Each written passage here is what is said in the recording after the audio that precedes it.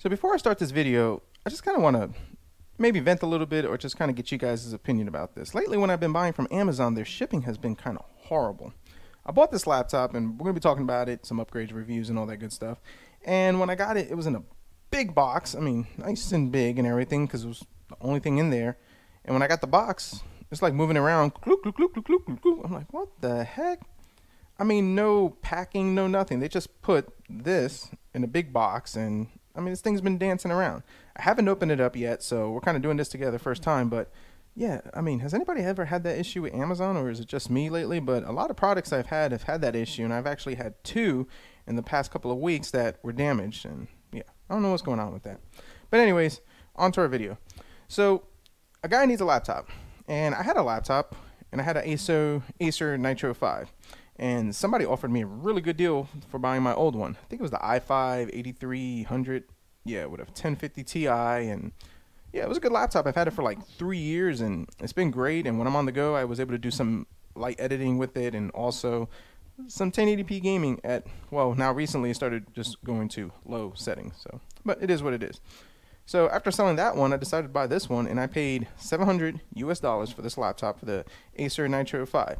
So now I know 700 kind of seems a little steep. There are different models and everything, but that other Acer one I had, I had it for three years. I actually dropped it, and it held up pretty good. Um, I've used it, exceeded the temperature recommendations. I've used that laptop, but it was still a solid laptop, and I never had an issue with it. Just yeah, solid. So decided to go with another one. So this one is the Acer Nitro 5 AN515-55-59KS, called a gaming laptop and it comes with the i5 10300H, 2.5 uh, gigahertz with a turbo boost up to 4.5 gigahertz, 1080p monitor with a refresh rate possibly of I don't know. I think what they say uh, 144 hertz. I don't know. We'll see about that. Um, GTX 1650 Ti, which is one of the things I was looking for, because I mean that graphics card just cost about $200 in itself on a good day. So I mean, hey, 1650 Ti, which is about, I think, 30% better than my 1050 Ti, but we'll talk about that. 8 gigs of DDR4, which kind of sucks, which I don't get. I mean, why are you just going to put one stick of 8 gig of DDR4 in? We'll get into that. I'm sorry. I'm getting off on a tangent over here. 256 NVMe SSD, and that's about it. So let's go ahead, let's unbox this, and let's see what we got.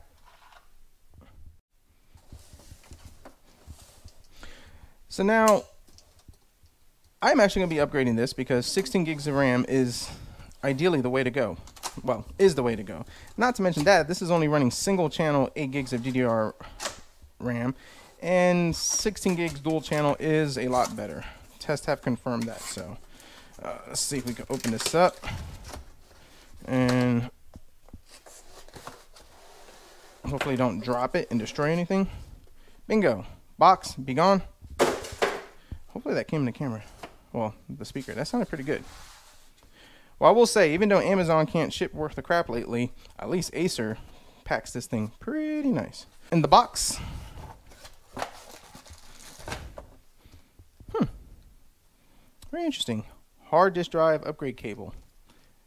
Hmm. I'll have to look into that. And our power brick. What else we got here? Uh, some screws, which are hard disk drive upgrade screw. That's actually pretty cool that they actually give you what you need to upgrade this. So we'll actually have to not throw this across the garage and keep that because we might need that one day. One thing I've always liked about Acer's power bricks is they're small, they're convenient, they don't weigh a ton, and I guess because this is not like a full super duper 2080 3080 graphics cards, I mean you won't need that much power, but they still can get a little toasty from time to time. So. All right, so we got that to the side. Let's get rid of this stuff. Okay, and let's separate her. Man, that thing is pretty tight. Nice.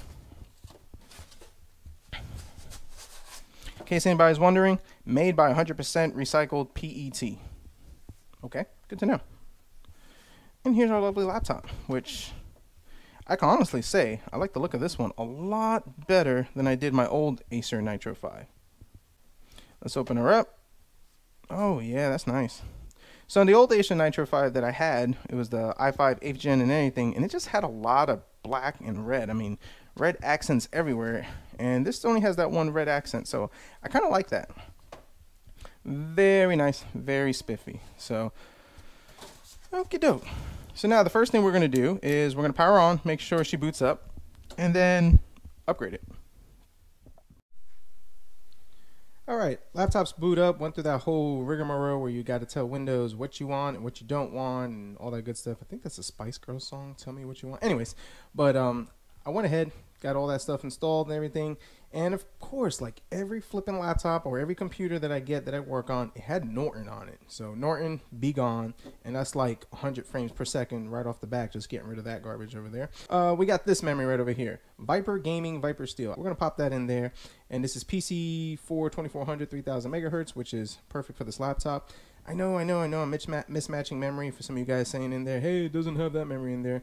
But they only have one in stock, and the other one's on back order. But for now, this will work. And then when the other one gets back in order, I'll be able to go ahead and match my memory because I am OCD like that. So yeah, don't blame you guys for that, for thinking that.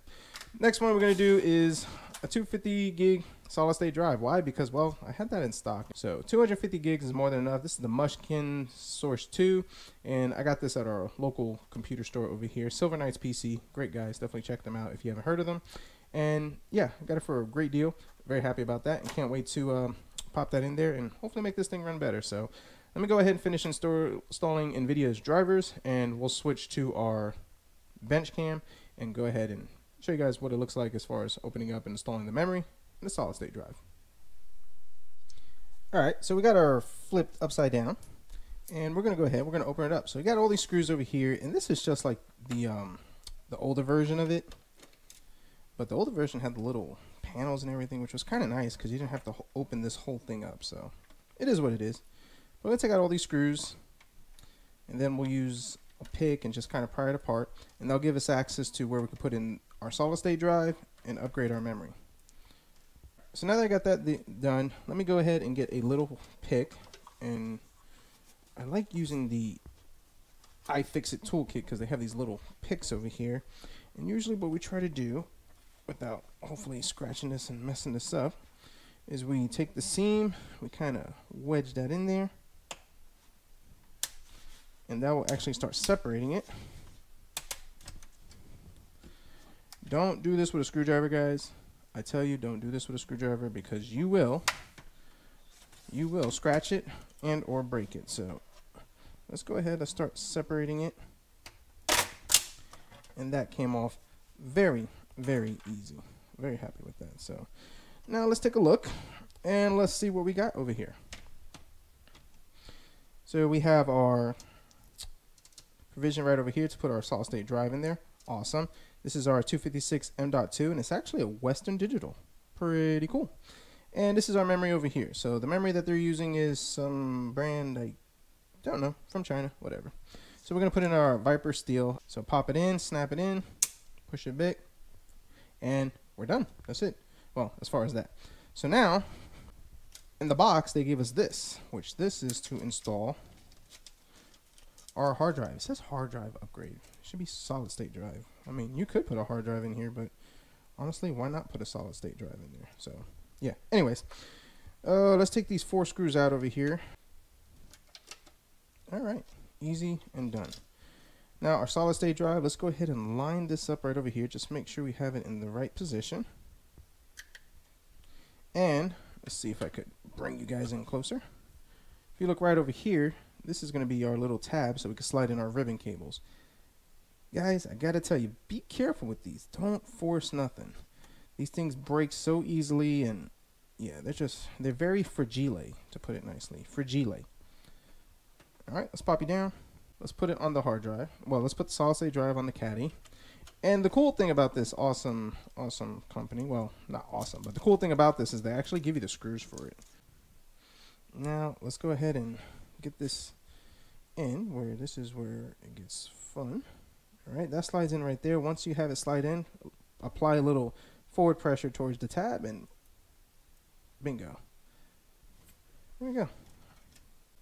All right, and that's it, and we're pretty much done with that. So let's see how this laptop holds up. So far, using it, it's pretty, pretty quick, pretty spiffy little guy. So, all right, pop this in, just light, easy pressure, guys. Don't go too crazy in it. Just wait for snaps. The snaps doesn't mean it's breaking. It just means that it's sitting in place. There we go. So let's put our screws back and let's fire up. Let's do some gaming. Alright, so we're in Cyberpunk. We're playing at 1080p medium settings, and our frames are jumping between, I would say, 35 to 40 frames per second. So now, the first thing I can honestly say is that the CPU is getting pretty toasty. Fans are ramped up, they're fully loud, but they're not obnoxiously loud, so I guess that's not a terrible thing. But as you can see, and let's see if we can bring you guys in, our temperature is about 69. It occasionally keeps jumping up to 81 and a little higher, so yeah. But our GPU temperature is actually holding pretty steady at 62 degrees Celsius. So I don't know. It could be an issue of bad thermal paste or just dried up thermal paste. I know another laptop I had previously that the older Acer Nitro, I was able to change the thermal paste, and by changing that, that actually gave me a five degree difference on that. So maybe upgrading the thermal paste on this could result us in having better temperatures. So 72, 73, and actually our frames have actually gone up. So now we're sitting at 45, 40, so maybe our average, let's bump it up to about 40 to 45 frames per second. The graphics looks pretty decent on it. The I mean, overall, considering that we're play, not playing 60 frames per second, gaming experience is actually pretty smooth. So our 1650 Ti with the CPU definitely handles it pretty well. So I don't know. I think maybe we should go ahead and just entertain the idea of changing the thermal paste. So let's get out of here and let's see if changing the thermal paste helps us out a little bit. Alright, so we're back again, and now what we're doing is we're going to take this thing apart, and we're going to upgrade the thermal paste and see if that will help our temperatures on it. Now something to keep in mind with these laptops is that they're small, so the cooling efficiency is not going to be ideal. But I have found in the past that the thermal paste that these manufacturers typically use are sometimes not applied properly, which is one issue. And number two is just cheap in quality. So using a better brand thermal paste, I mean, whatever your flavor is, I like to use Arctic and Thermal Grizzly, can help and can reduce the temperatures. So one, two, we got one, two, three over here, and you got one, two, three, four over here, and then there's two more on the fans. Be mindful of the cables because the cable to power this fan up is right over here so you don't want to go too crazy pulling on it because these cables are delicate. They will rip. They will break. And that's definitely no bueno. So alright so pull up nice and easy. Alright we pull that off pull these Wi-Fi off there's a connector over here. Let's pull this off. Now, a couple of issues that I could see with this laptop is that the thermal pads that they use are just really, I don't know, they kind of broke apart over here and everything. And this is a new laptop.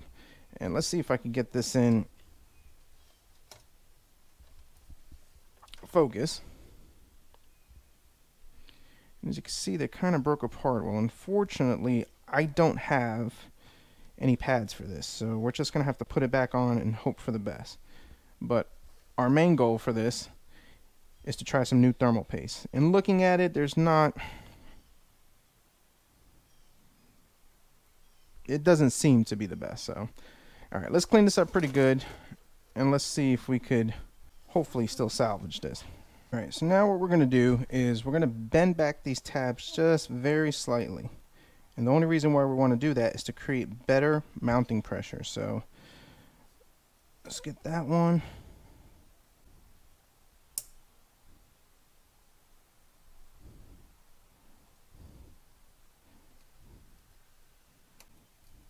Alright, that should be more than enough. So let's go ahead and let's try to finagle this back on. I have found that not enough mounting pressure won't spread the thermal paste easily. So we're just to hope that that helps it just a little better. Alright, so double check all your cables, make sure everything's plugged in, which we're good. Let's put it back together. Let's start her up and let's see if we got any improvement. Alright, so always the good news is it still works and it turns on. So that's even better. The even better news is my temperatures are a lot better, a lot more stable. So before I was hitting 82 to 88 degrees and I'm sure we were running into some thermal throttling and just even playing the game, my frames per second were just kind of dropping to 40 and low. And now we're at 45, occasionally hitting 50.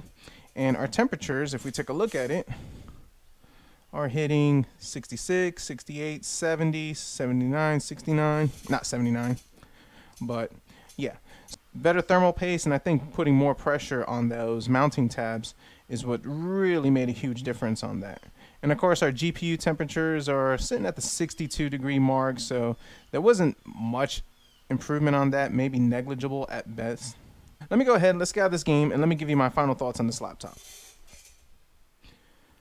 So this laptop could be built better. I think they could have put more pressure on the tension brackets. They could have probably used better thermal paste, but then that would cost more money and probably up the price by $100 just for two simple things on that.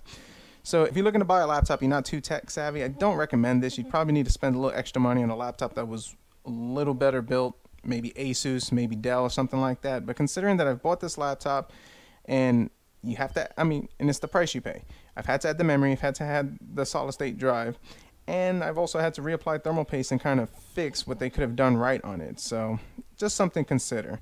But I will say this, after doing those few things, the laptop is a lot more enjoyable. Browsing the internet is quieter now that the, the heat issue is dealt with. The extra space is good for my games.